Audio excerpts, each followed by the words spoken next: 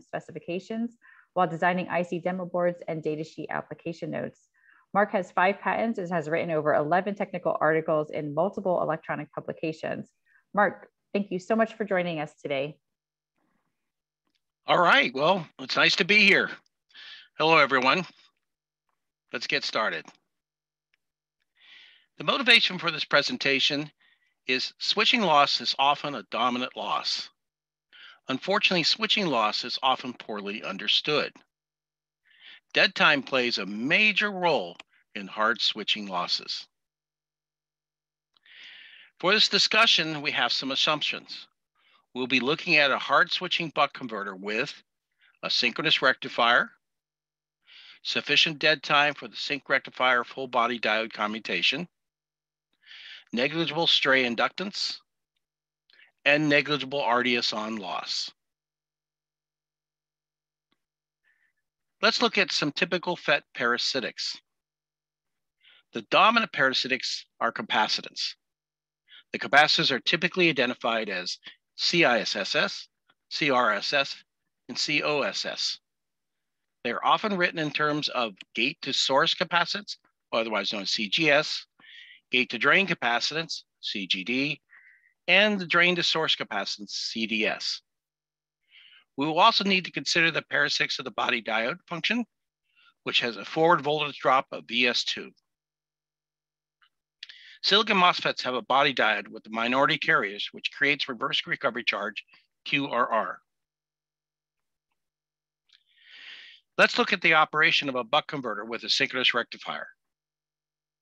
S1 is on the high side and the synchronous rectifier S2 is on the low side. S1 is on with a duty cycle feeding an inductor that pulls a constant average current. This is what we normally consider to be called transition losses or switching losses.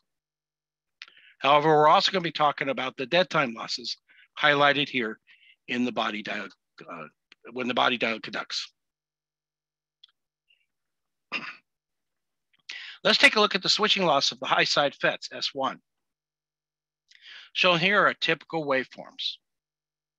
The blue S1 command is the control signal with the resulting red VGS gate voltage. Input charge effects. CISS has a direct effect on transition speed, and faster transition equals lower switching losses. When we compare GaN FETs with silicon MOSFETs, EGAN FETs have very low input capacitance, CISS, switch faster, have lower transition loss.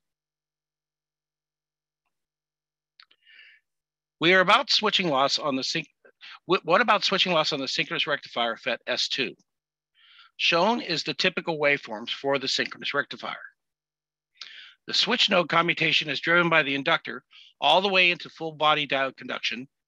In other words, it's a soft switch. Notice the FET CISS does not have any effect in the switching in any way. The soft switching means there are no hard transition losses.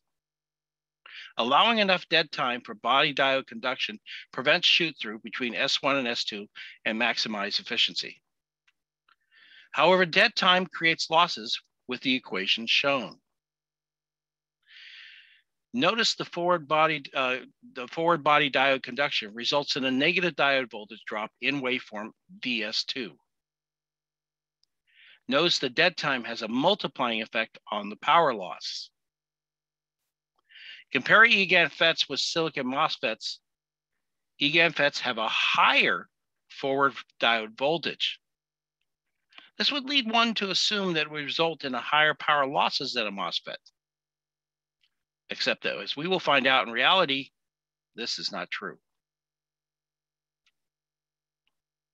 To understand why EGAN FETs are not necessarily have higher dead time losses than MOSFETs, we need to take a look closer look at the output parasitics.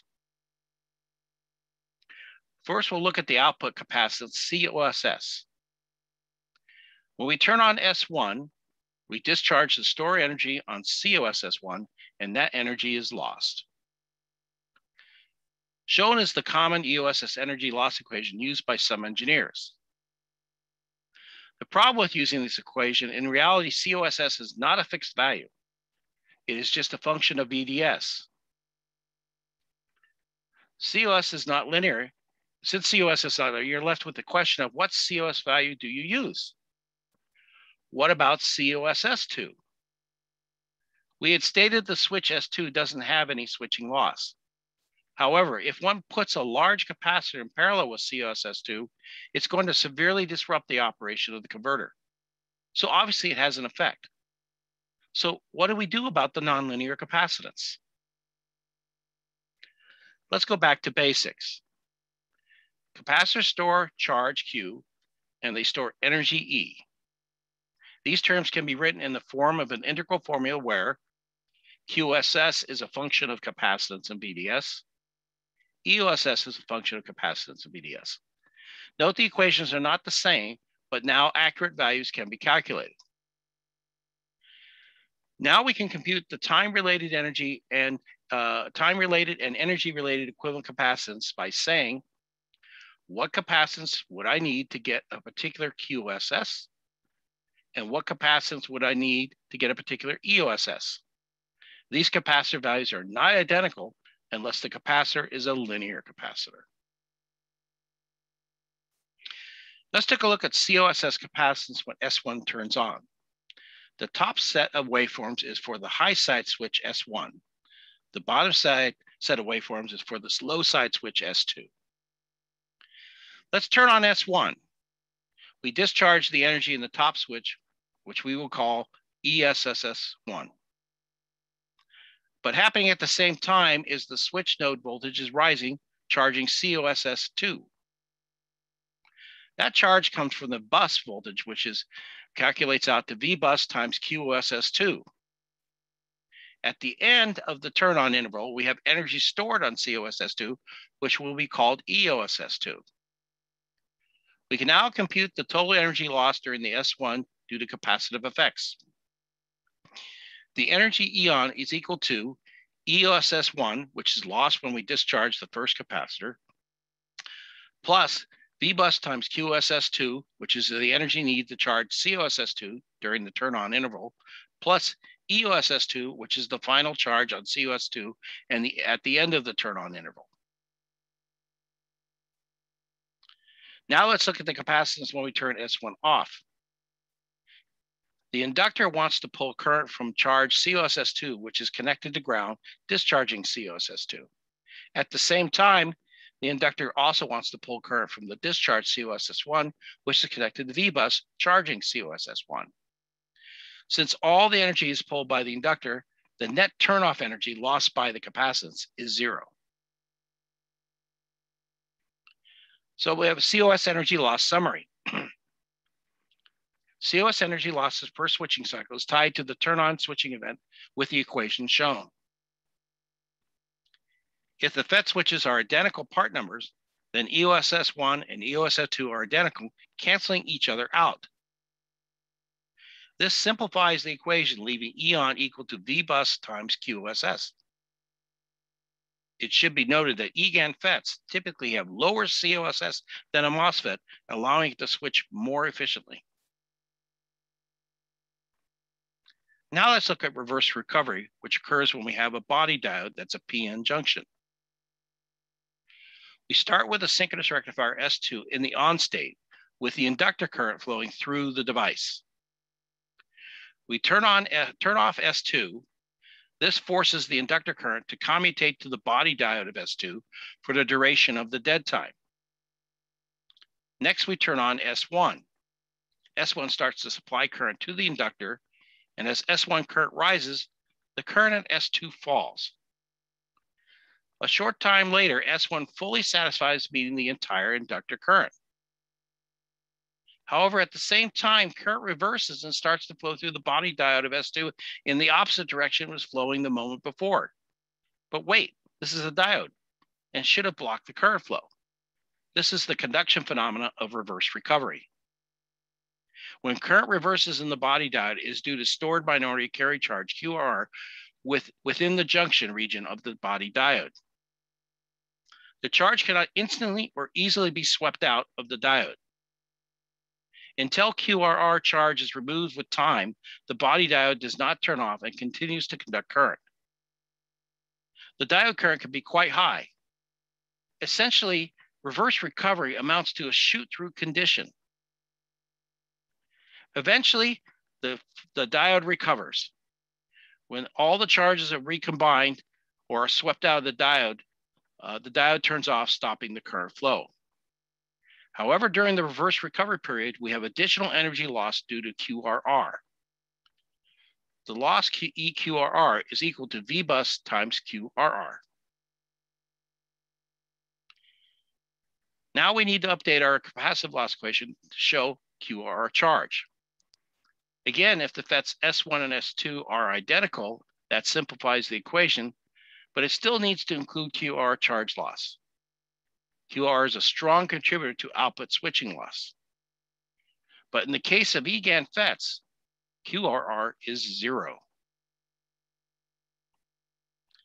Let's compare EGAN FETs to silicon MOSFETs. Once again, EGAN FETs, QR is equal to zero. For silicon MOSFETs, QR reverse recovery only happens with a PN junction body diode.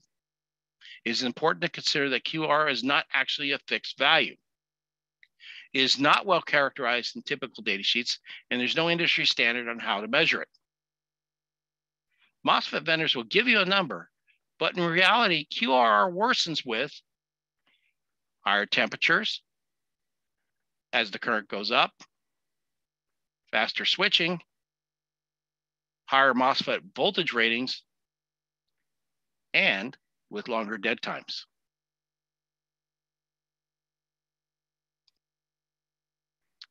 How does changing dead time have an effect on QRR? Let's, let's look at some typical waveforms. On the top are the high side switch waveforms. Zero nanoseconds is the time just after the bottom switch is turned off and we've established current flow through the diode. Looking at the top waveform, S1 VDS voltage is in green, which collapses when we turn S1 on. The resulting S1 current is in dark blue. S1 current rises to a very large peak value before finally collapsing and returning to the inductor current. The peak portion of this current is a sum of charging currents for both COSS2 and QRR. On the bottom of the waveforms, the S1 current has been broken up into two parts. We have the gray waveform shows QOSS during current, charging current. The cyan waveform shows S2's body diode QR charging current. Any positive current above the zero amp line is lost from total output charge. QOSS loss is not a function of dead time being pure capacitive. QR, on the other hand, is getting both higher and longer as dead times increase 10 nanoseconds, 20 nanoseconds, 30 nanoseconds. Why is QR alone a function of dead time loss? This involves a deeper dive into the diode structure. The top left graph shows charges within the body diode of the FET. The middle graph shows the top switch waveforms. The bottom graph shows the bottom switch waveforms. Returning to the top graph, we can see the two charge waveforms. QE is the charge injected to the diode region to support normal conduction. QM represents the surplus minority carrier charge deep in the junction region. At t equals zero nanoseconds, we've just turned off the rectifier switch and forced inductor current to start to flow in the body diode. QE builds immediately in order to support the inductor current. Q1 falls behind, injecting additional charge into the junction region that is stored. While the diode is conducting, we see both charges increase exponentially with time. If we make the dead time really long, eventually QM and QE will flatten out and reach a maximum. Now we turn S1 on and see that QE charge drops to zero. Inductor current has stopped flowing in the diode. However, QM is not zero, and the charge has to decay exponentially, mostly due to recombination. Meanwhile, the diode can conduct reverse current until QM equals zero. So how does this affect the loss? If you look at the EGAN FETs, there is no reverse recovery. Loss is linearly a function of the dead time because loss is simply due to the reverse voltage drop. The longer the dead time, the more energy is dissipated. With a PN body diode inside a MOSFET, there's a sharp increase in loss due to QR that tapers off. Starting at dead time of zero, dead time of zero nanoseconds, we can plot QR loss of the MOSFET versus forward drop loss of the EGAN FET. At low dead times, the EGAN FET has lower losses. We want proof? We've done some, done some GAN versus MOSFET experiments using 80 volt related rated parts. We designed a special 50 millimeter by 50 millimeter buck converter board for each FET tested. They have identical layout as close as possible, subject to the limits of the footprint, footprint differences. Each board was operated at 48 to 12 volts, 300 kilohertz, using the same 4.7 inductor and output capacitors. Since we could not have a true zero nanosecond dead time condition without shoot through issues, we started with a five nanosecond condition and called this a P baseline. We made this loss BR zero by subtracting it from all measurements. We start adding five nanoseconds to the total dead time and measure total losses. This is repeated until the dead times have been measured for all FETs. Dead time losses then calculated using the equation shown. Finally, we did separate experiments for varying dead times, but only varied the rising edge or the falling edge, keeping the other constant.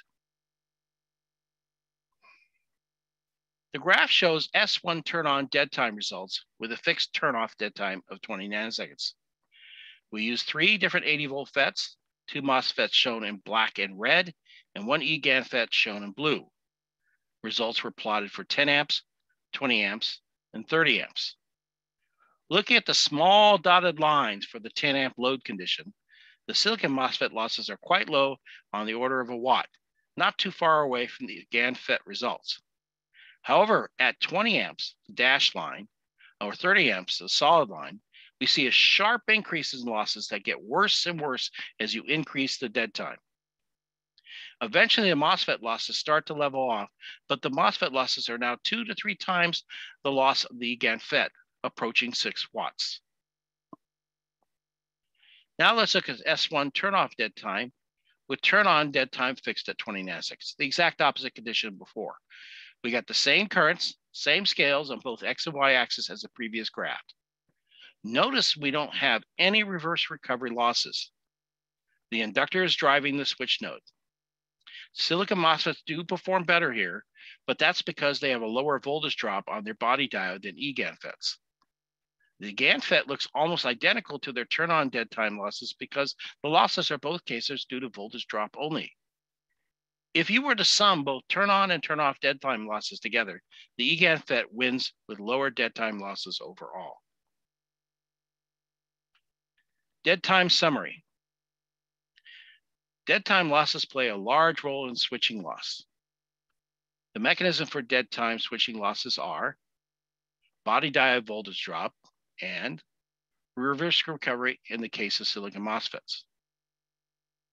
We've shown that MOSFET QR losses can be uh, several times higher than the high reverse voltage drop losses of EGAN FETs. Dead time management can be critical for MOSFETs. It is harder to manage dead time in silicon MOSFETs than EGAN FETs. Okay. Okay, thank you, Mark.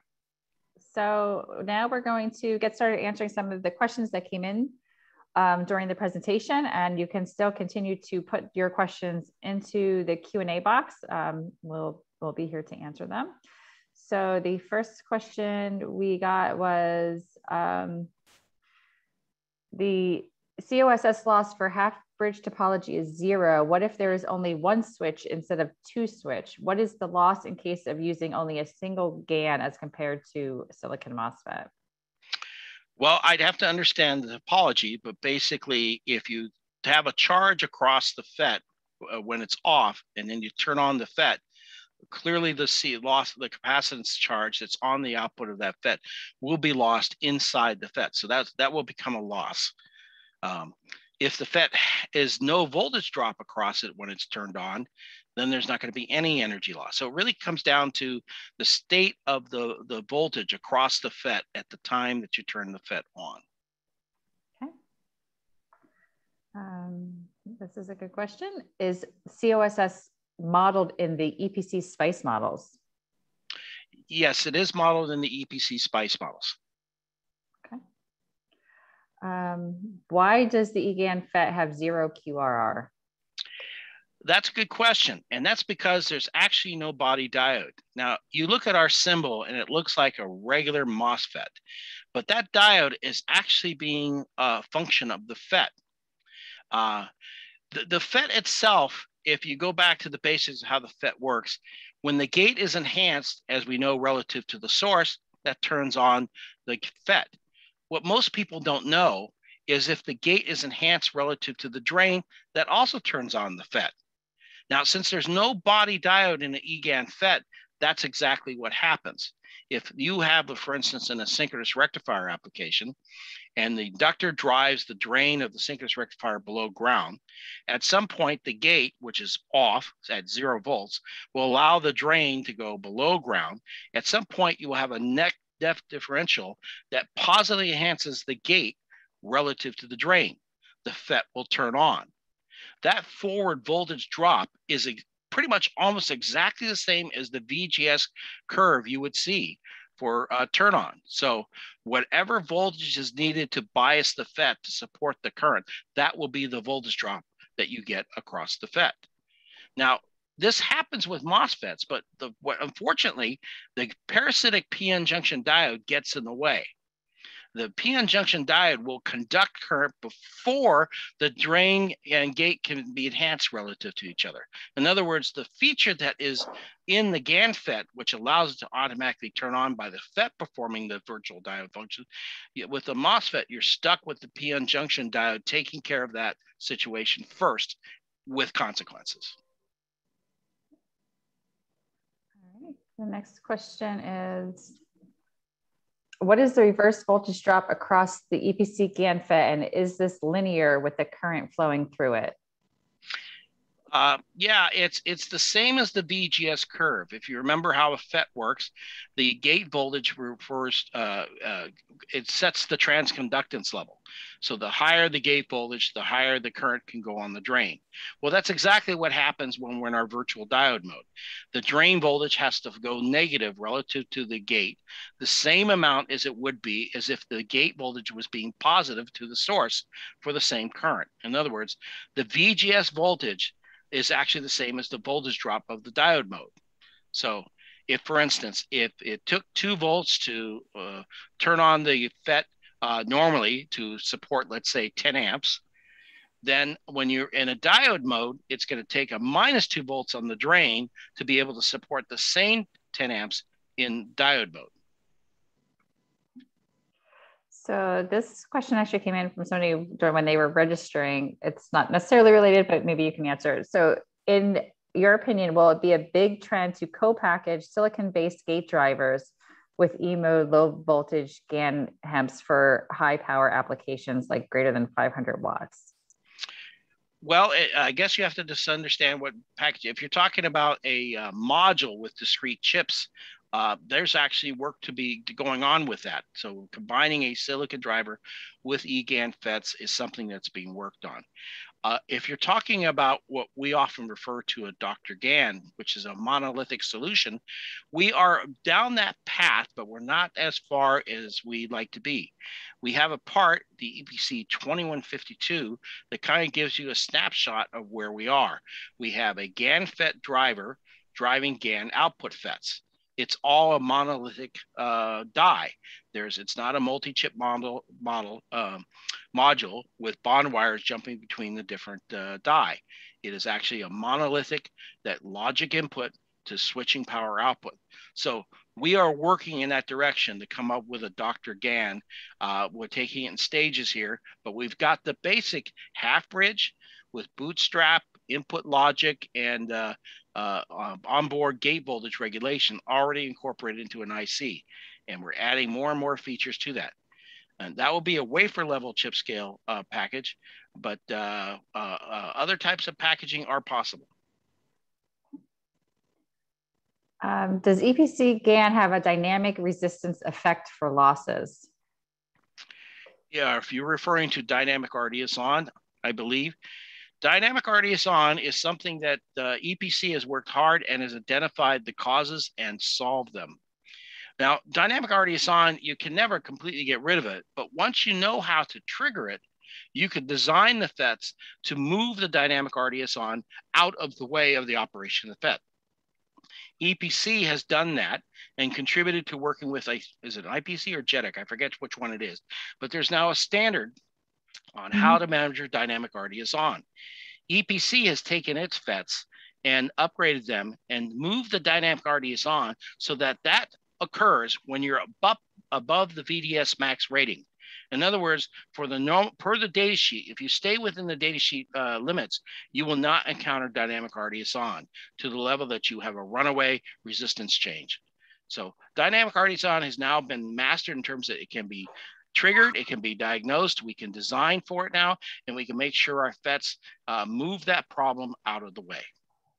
And I would just add, there's actually a ton of information about this on the website because we've done a lot of um, reliability work, as Mark mentioned, um, finding out the physics of failure and, and everything behind dynamic RDS on. And so on the website, if you go to um, design support reliability, you can find all the um, the reliability reports and, and information that that Mark is uh, talking about there. Um, okay, how do you compare between tuning of switching loss versus dead time loss?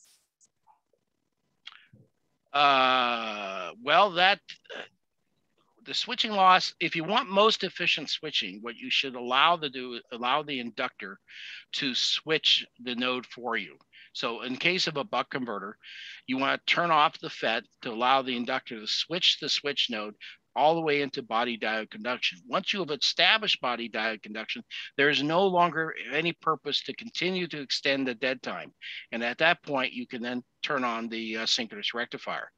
If you turn on the synchronous rectifier before you've allowed the inductor to transition the switch node, that's going to be hard switching on the bottom FET and you'll see an increase in losses. Another question. Does the reverse recovery QRR overshoot vary according to the charge across COSS? Uh, yes, it uh, it does have effect on it. Uh, there's the problem with QR is there's so many variables involved in it. It's not one dominant over the other. Um, current has a major flow uh, uh, factor in it. The design of the FET also has a factor in it. The voltage rating, for instance, is a it gets worse with a 100 volt FET than it is with a 20 volt FET. So um, yeah, it, it it does have an effect. All right. Um, MOSFET datasheets usually provide QRR at a reasonable current 25C and a low DI-DT.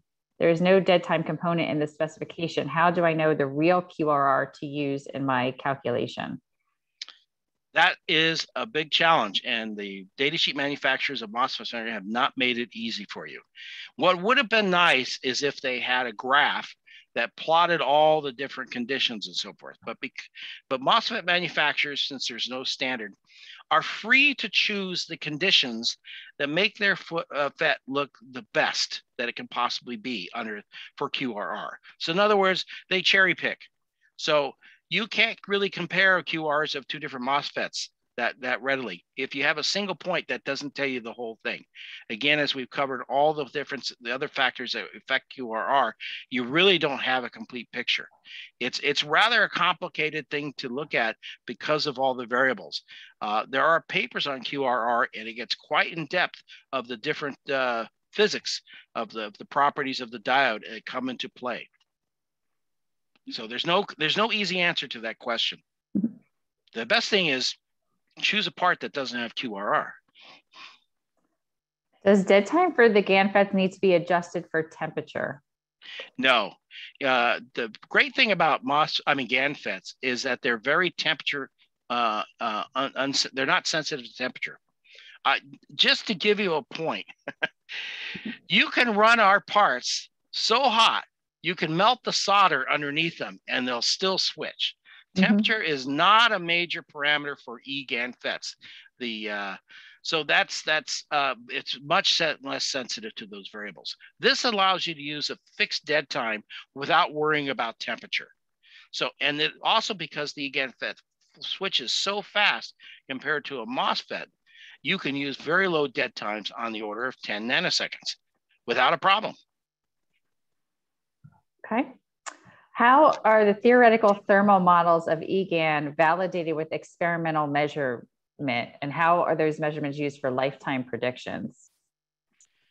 Wow, that's a complicated question. I think we have some presentations on that. Don't we have a? I'm trying to think of the um, the modeling. I know we have a uh, mechanical engineer, Assad, who's doing a lot of this paperwork and doing investigation.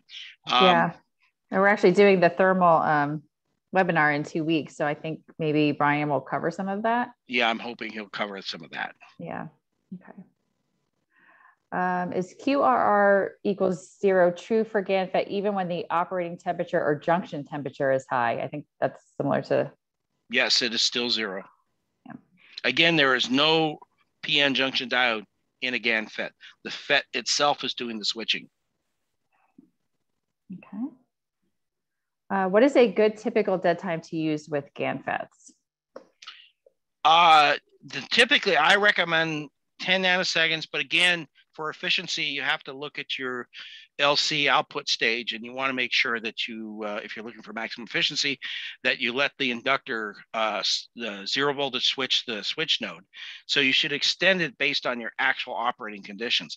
What we're saying 10 nanoseconds, we're just saying that from a FET perspective alone, not worrying about efficiency, the FETs themselves can can use as low as 10 nanoseconds, even five nanoseconds.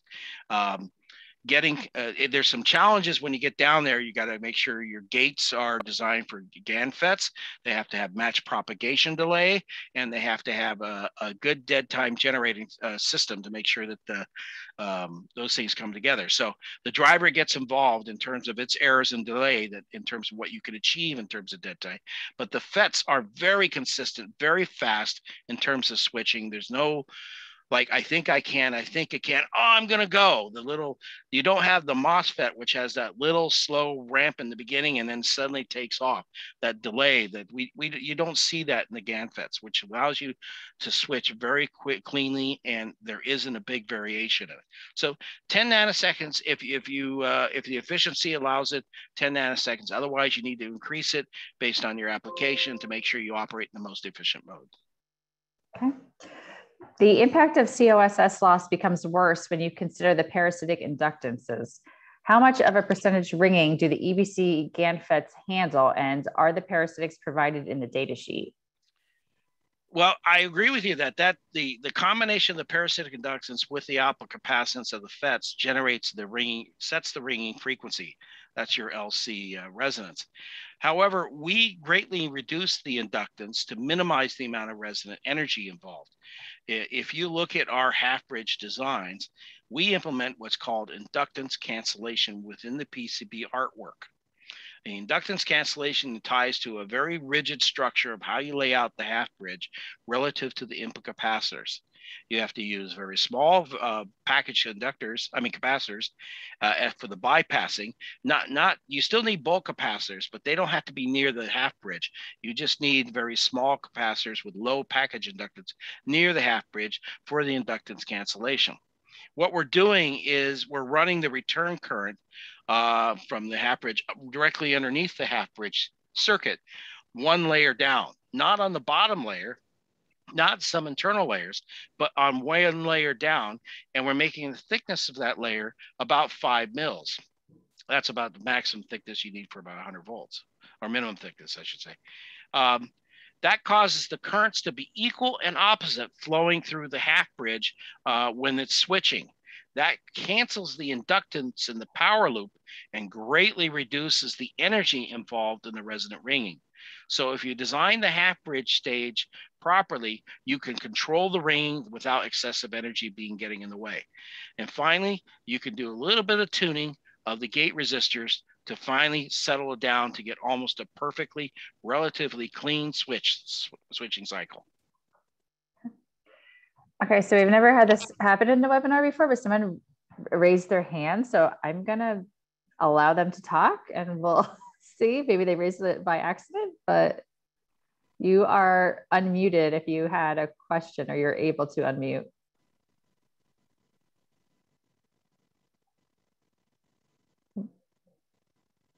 Oh, maybe it got raised by an error. Oh, now someone else wants to talk. I'll stay. Alex, you're unmuted if you wanted, if you had a question, or you're able to talk if you have a question. Okay. We'll see if they chime in, but uh, okay. So here's a question though from Alex. What are the capacitors that handle tens of amps having such a small size as shown on the reference boards? Well, those are capacitors. The small ones are only used for the switching edges. You still need a bulk capacitance for handling the uh, uh, output current for the load of the inductor. Uh, we just typically prominently place the small capacitors right next to the half bridge because again, for the low, uh, inductance cancellation, we typically deal with nanocapacitors in the nanofarad range in 0603 or 0402 sizes we can, depending on the voltage and application. Uh, bigger capacitors and larger size packages uh, can be put in parallel on the other side. Um, the, the only thing, like I said, the only the half bridge only cares about the low inductance inductance cancellation. The bulk capacitance is more of a function of your circuit design and how much local energy you need to support the propulsive current going out to your inductor or whatever it is. Okay. Um, another question, do you have any application notes related to this webinar? Uh, I'm sure we do. I can't think of them. I, I know we have some how to and probably some app notes. I can't think of them off the top of my head right now. Um, but we do have some uh, discussion definitely uh, on our website. Uh, you can look it up under resources. Uh, we have application notes and how to GAN, uh, and there are discussions about switching stage and dead time and uh, PCB layout, and all those things are available. Um, does Miller ratio Miller ratio play any crucial role for a change in switching loss? No, with GAN FETs, we Miller is not the problem. Miller ratio is less than one. Uh, so switching speed is not a consequence of Miller. We have a different problem because our GAN FETs are so fast with FT values in the high multi gigahertz range. You're basically talking about parts that are RF power switches. Um, the thing that becomes a problem is what's called common source inductance. Uh, this has the same net effect as Miller capacitors in, the, in that it slows down the switching speed of the FET and can create oscillations. But the mechanism, instead of having a relationship to the drain, the mechanism has a relationship to the source. In this case, the source has a combination of gate and drain current flowing out of it. If you place an inductance uh, this inductance could be PCB inductance, or if you have a current sense resistor on the source or whatever, that all has, let's say, 50 nanohenries of uh, total inductance. If you run a half amp per nanosecond di through that, you're going to have a five volt drop across that 50 nanohenries. In other words, you're going to have an instantaneous voltage drop across the printed circuit board trace on the source pin or the current sense resistor if there's one on the source pin, independent of the actual resistance. It's going to be inductively driven since you're shifting the source pin above ground, for instance, but the gate voltage is referenced to ground, that means the VGS voltages seen by the FET collapses. So the higher the source pin bounces above ground, the less VGS voltage you get. It has a negative feedback on the FET. It causes it to go into a transconductance limit. Well, it's already in limiting, but it, it causes to go further into transconductance limit, and you can get an oscillation due to this LC ringing between the gate capacitance and the source inductance through that gate loop. But that causes the same net effect of slowing down the uh, GAN FET, just like Miller capacitance that would do for a MOSFET. Uh, so careful printed circuit board layout. It's there's some simple rules about how to deal with this.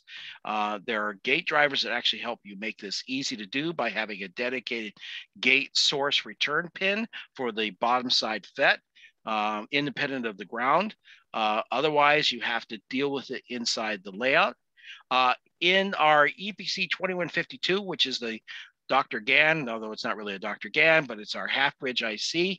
We've done the Kelvin sensing of the gate return inside the die. And when we made that part, we got a significant speed improvement and efficiency just by making that critical connection dealing with common source inductance addressed inside the die so that the printed circuit board is not a factor. So the answer is it's not Miller capacitance, it's common source inductance. Uh, what is the character, characteristic impedance of the bus then if the capacitance is a, on order of a few nanofarads? L of DC bus in order of few picohenries of inductance, is it even achievable? Well, we don't want zero. We need some capacitance there because it's part of the inductance cancellation loop. So let, let me explain the uh, what's happening here.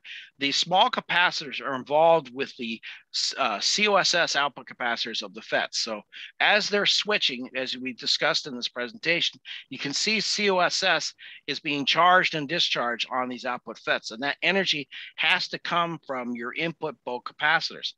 If since the switching is so fast, you need to have a low inductance source of this capacitance energy to satisfy that QRR, I mean that QOSS times VDS number. So uh, that's what the small capacitors are for.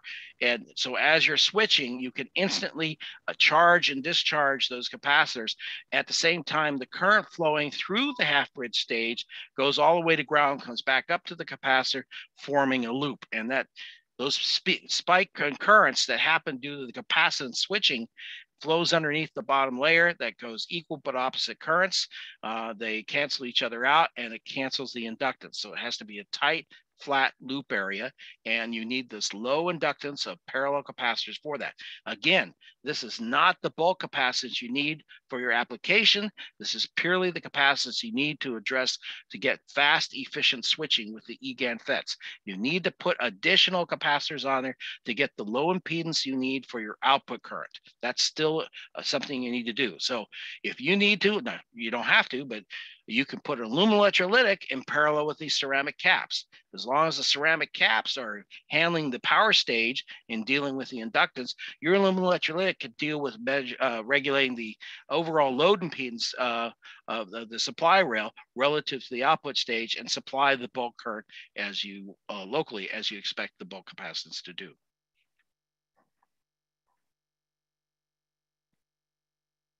I was muted, sorry. How can EGAN be used in a push-pull configuration? I think you uh, push pull. I'm. Is, are we talking a half bridge or a full bridge? I'm not sure. Um, um, but uh, EGAN FETs can be used in the same topology sockets as MOSFETs. So you whatever topology that you use for uh, MOSFETs, whatever application, whatever, you can drop in a GAN FET in that socket. So there's no topology limits for EGAN FETs. They're they basically gate, source, and drain. The, the critical parts about uh, GAN FETs is how you uh, the gate driver connection, how you lay out the gate driver to the GAN FET. And in case of half bridges, you need to have the bypass caps, the low high, the high frequency, low impedance bypass caps for the uh, half bridge stage. Why don't GAN gate drivers have adaptive dead time control? Uh, the, the great thing is is that fixed dead time is is is need is that's all it's needed with GAN FETs. Again, temperature is not a variable that changes the dead time. So by uh, not having to adapt means we can use a simpler mode, mode of uh, dead time management. We can simply have uh, fixed timers involved in that. Um, there's nothing saying we can't use adaptive get dead time. And in fact, I would argue that we are eventually going to have something in our Dr. GAN that does that. But uh, but the great thing about unlike MOSFETs, GAN FETs are very temperature stable in terms of their parasitic operating conditions, such that a low fixed dead time is perfectly acceptable. Okay. All right, so I think we've answered all the open questions. If there are not any more, we will um, wrap up for today. Um, so thank you, Mark, and thank you everyone for attending the webinar. If you have any additional questions, please feel free to send them into info at epc